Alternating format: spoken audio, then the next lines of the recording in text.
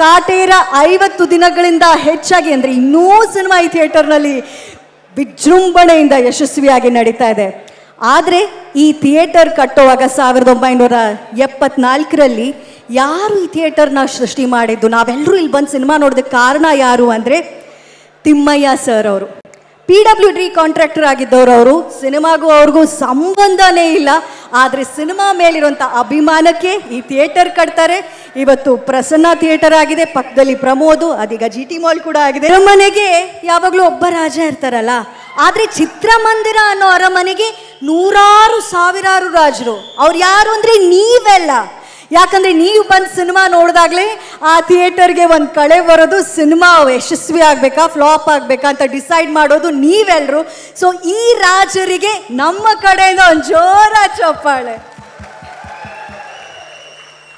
ಇದೇ ಸಿನಿಮಾದಲ್ಲಿ ಕಾಟೇರ ನೋಡಿರೋರು ಎಷ್ಟು ಜನ ಇದ್ದೀರಾ ಅಲ್ಲಿ? ದರ್ಶನ್ ಸರ್ ಅವರ ಗಜ, ಬುಲ್ಬುಲ್ ಮತ್ತೆ ಸಾರಥಿ ಕೂಡ ಈ ಥಿಯೇಟರ್ನಲ್ಲಿ ಹಂಡ್ರೆಡ್ ಡೇಸ್ ಓಡಿದೆ. ಇಲ್ಲೇ ನೋಡಿದ್ದೀರಾ? ಹಾಗಂದ್ಮೇಲೆ ಈ ಥಿಯೇಟರ್ನಲ್ಲಿ ಕೆಲಸ ಮಾಡಿರುವಂತಹ ಆ ಸಿಬ್ಬಂದಿ ವರ್ಗದವ್ರನ್ನ ಒಂದು ಚಪ್ಪಾಳೆ ತಟ್ಟಿ ಧನ್ಯವಾದ ಹೇಳುವಂಥ ಒಂದು ವೇದಿಕೆ ಇದಾಗಬೇಕು. ಯಾಕಂದರೆ ನಾವೆಲ್ಲರೂ ಬಂದು ಒಂದೆರಡೂವರೆ ಗಂಟೆ ಕಾಲ ಒಂದು ಕನಸಿನ ಲೋಕಕ್ಕೆ ಹೋಗ್ತೀವಿ ಅಂದರೆ ಅವರೆಲ್ಲ ಅಷ್ಟು ಕಷ್ಟಪಟ್ಟು ಕೆಲಸ ಮಾಡಿ ಚೆನ್ನಾಗಿ ಇಟ್ಕೊಳ್ಳೋ ಕಾರಣ. ಸೊ ಅದಕ್ಕಾಗಿ ಈ ವೇದಿಕೆಯಲ್ಲಿ ಪ್ರಸನ್ನ ಥಿಯೇಟರ್ನಲ್ಲಿ ಈ ಐವತ್ತು ವರ್ಷಗಳ ಸಾಥನ್ನು ಅವ್ರು ಕೊಟ್ಟಿದ್ದಾರೆ. ಅವರಿಗೆ ಈ ವೇದಿಕೆಯಲ್ಲಿ ಒಂದು ಚಪ್ಪಾಳೆ ಹಾಗೂ ನೆನಪಿನ ಕಾಣಿಕೆಯನ್ನು ನೀಡುವಂತಹ ಸಮಯ. ಅದಕ್ಕಾಗಿ ಮೊದಲನೇದಾಗಿ, ಬಾಕ್ಸ್ ಆಫೀಸ್ ಸುಲ್ತಾನ್ ಅಂತ ಸುಮ್ಮನೆ ಹೇಳೋದಲ್ಲ, ಈ ಥಿಯೇಟ್ರಲ್ಲೇ ಎಷ್ಟೋ ಸಿನಿಮಾಗಳು ಹಂಡ್ರೆಡ್ ಡೇಸ್ ಆಗಿದೆ ಅವ್ರದ್ದು ದರ್ಶನ್ ಸರೇ ವೇದಿಕೆ ಮೇಲೆ ಬರಬೇಕು, ಅವರಿಗೆ ನೆನಪಿನ ಕಾಣಿಕೆಯನ್ನು ನೀಡೋದಕ್ಕೆ.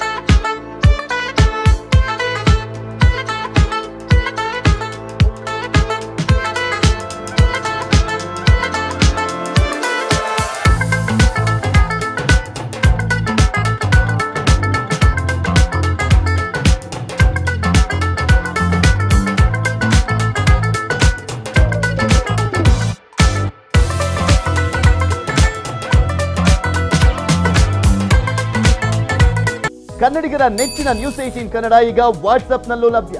ಕರ್ನಾಟಕ, ದೇಶ, ವಿದೇಶಗಳ ತ್ರೀ ಸಿಕ್ಸ್ಟಿ ಡಿಗ್ರಿ ಸುದ್ದಿಯ ವಿವರಗಳನ್ನ ನಿಮ್ಮ ಕೈ ಬೆಳುಗಳಲ್ಲೇ ಪಡಿಲಿಕ್ಕೆ ಈ ಕ್ಯೂ ಆರ್ ಕೋಡ್ ಅನ್ನ ಸ್ಕ್ಯಾನ್ ಮಾಡಿ. ನಮ್ಮ ಚಾನಲ್ ಫಾಲೋ ಮಾಡಿ ನೋಟಿಫಿಕೇಶನ್ ಆನ್ ಮಾಡಿ.